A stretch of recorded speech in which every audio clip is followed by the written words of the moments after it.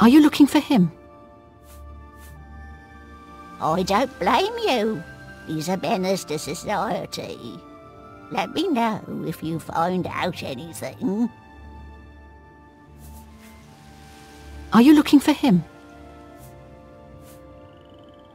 I think I trust you enough to tell you this secret.